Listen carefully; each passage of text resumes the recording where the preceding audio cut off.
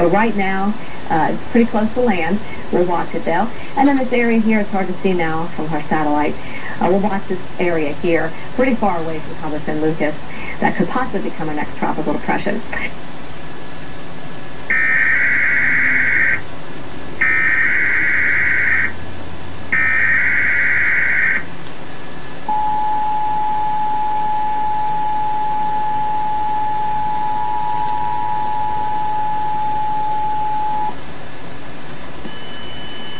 This is a coordinated monthly test of the East Central Ohio Emergency Alert System, originating from the local primary station in Stark County. This is only a test.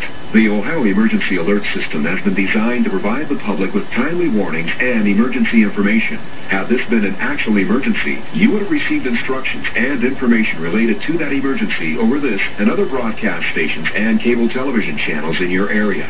This concludes this test of the East Central Ohio Emergency Alert System.